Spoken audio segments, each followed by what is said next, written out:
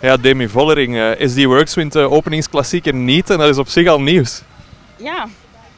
Ach ja, je kan, je kan niet alles winnen. Normaal gesproken verlies je vaker een duurrennen dan dat je wint. En, ja, vorig jaar was een seizoen wat het andersom was voor ons. Dus ja, is heel erg balen natuurlijk. Maar um, uiteindelijk leer je meer als je verliest. Dus ik denk dat we vandaag weer wat geleerd hebben. En hopelijk komen we daar alleen maar weer sterker van terug.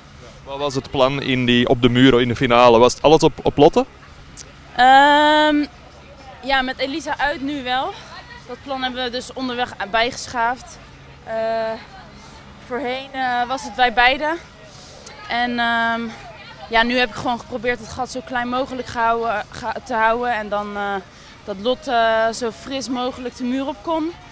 Um, en dat ging geloof ik best goed. Dus ja, wat dat betreft was dat plan uh, goed, denk ik. Alleen ja, daarna was het shit dat Lotte natuurlijk alleen in die groep kwam te zitten. Dat waren er eigenlijk nog een beetje te, te veel voor het mooie. En ja, dan, uh, dan is het zwaar voor haar.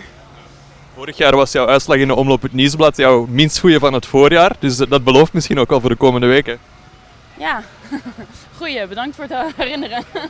Nee, nog, nog één dingetje. Ja, deze week zei de CEO van SD Works dat, uh, ja, dat jouw toekomst bij de ploeg niet zo zeker is.